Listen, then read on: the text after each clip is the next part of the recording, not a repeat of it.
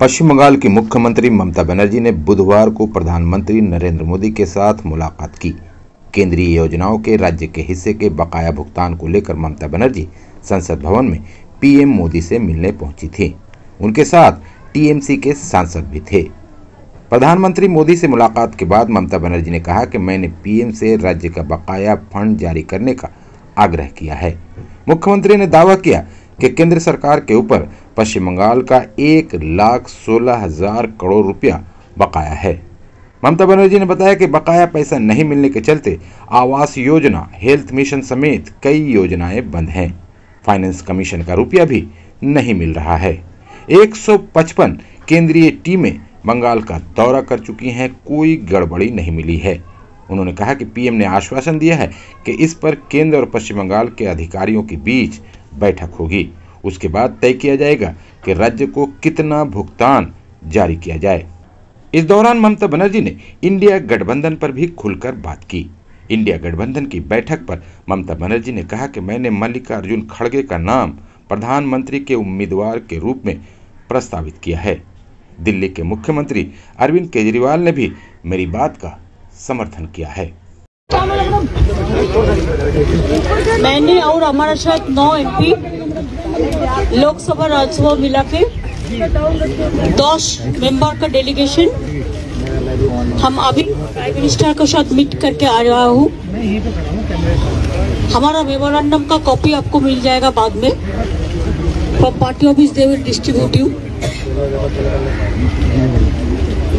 मैंने जो बात आपने देखा कि हमारा 100 दिन का जो रुपया नहीं मिल रहा है, जिन्होंने काम किया है गरीब लोगों ने उसका रुपया भी बंद हो, पड़ा पड़ा। एक कॉन्स्टिट्यूशन का मैंडेटरी है। ये रुपया देना चाहिए। आज तक नहीं दे गया है। और ट्वेंटी टू ट्वेंटी थ्री का जो बजट हुआ था, वो बजट में एक सौ दिन के लिए, काम के लिए हमारा स्टेट को एक पैसा भी नहीं दिया था। तो एक सौ दिन का काम के लिए उसको पैसा जल्दी से जल्दी देना।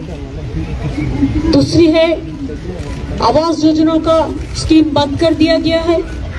रूरल डेवलपमेंट का स्कीम बंद कर दिया है और हेल्थ मिशन का प्रोग्राम भी बंद कर दिया है, रुपया नहीं दे रहा है। फाइनेंस कमीशन का रुपया भी नहीं मिल रहा है। तो इसमें क्या होता है कि अगर कोई गलती हो तो आप रुपया रोक दो। लेकिन 155 टीम्स ऑलरेडी विजिटेड बंगाल जो भी क्लैरिफिकेशन मांगा, हम लोगों ने पूरा ऑफिसर ने वो क्लैरिफिकेशन दिया। बात भी किया है। आज तक कुछ नहीं मिला। हम पहले भी तीन तीन तीन दफे प्राइम मिनिस्टर को मीट किया है और एक दफे भी मीट करके जा रहा हूँ।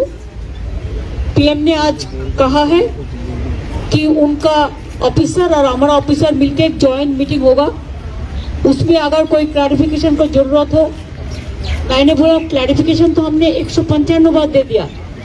तो उसका बात भी ज़रूरत हो तो एक मीटिंग ज़रूर कर सकते हैं officer and they can decide the formula in federal structure central government has the share and state government also has the share तो we are not getting the share from the central से for the poor people that's why हमने चाहते हैं कि इसको गरीब लोगों को रुपया बंद करके रखना ठीक नहीं है। ये हम लोगों ने कहा है प्राइम मिनिस्टर ध्यान से सुना और कहा है ठीक है हम दो ऑफिसर स्टेट का सेंट्रल को बैठ के मीट करके इसको कोई डिसीज़न हम ले लेंगे। इतना तक हमारे साथ डिस्कशन हुआ है। This is the result of the discussion hello hello और उन्होंने धनखड़ साहब को फ़ोन किया था और बहुत आहत देखिए ऐसा बारे में मेरे को कुछ पता नहीं है।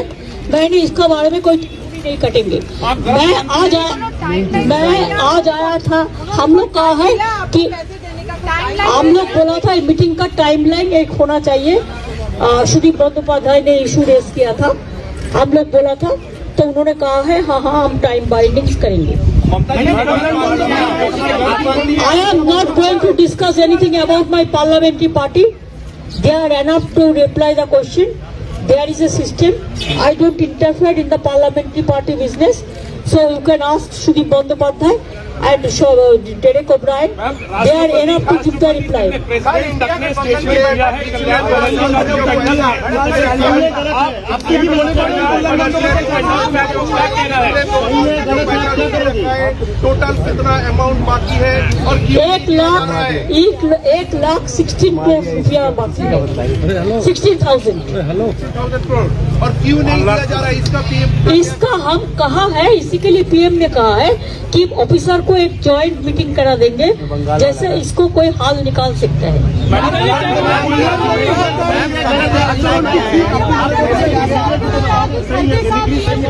मैंने इसका बारे में कोई टिप्पणी नहीं करेंगे। इसमें हमारा parliamentary party they are taking care so they will be fair enough to take the decision.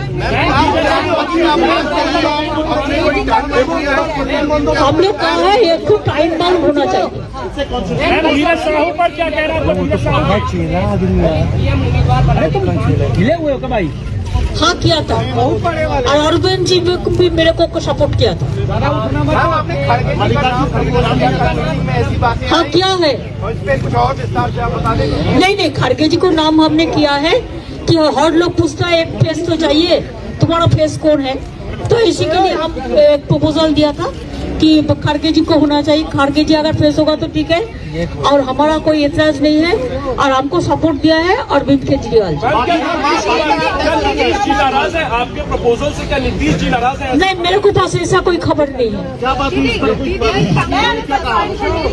আগামীকাল থেকে যে কর্মসূচি করছে গোটা দেশ জুড়ে তৃণমূল কংগ্রেস কি তার সঙ্গে আছে এটা party program we are not discussing this party program right now here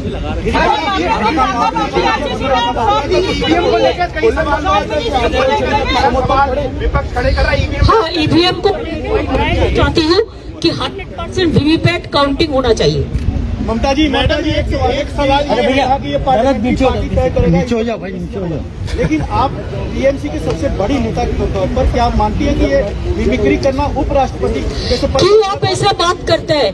हम तो रेस्पेक्ट करते हैं सबको ना। ये डिसरेस्पेक्ट का कोई बात नहीं होता है। इसको जस्ट पॉलिटिकली कैजुअली आपको तो पता भी नहीं चलता। अगर राहुल जी वीडियो कैस वीडियो में तो छवि नहीं तुलता तो। आप समर्थन कर रहे हो इसका मतलब? आप समर्थन कर रहे हैं मैम इसका? इसका मतलब समर्थन कर रहे हैं बंगाल छोड़ के मैं आज पे कोई बात में टिप्पणी नहीं कटेंगे।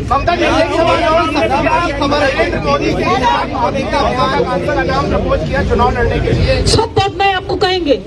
जो मेरे को कहना था मैंने कह दिया। प्लीज़ आप लोग अच्छा रहिए। मेरे को शुभकामना है नए साल के लिए और मेरी किस्मत। मेरी मेरी किस्मत।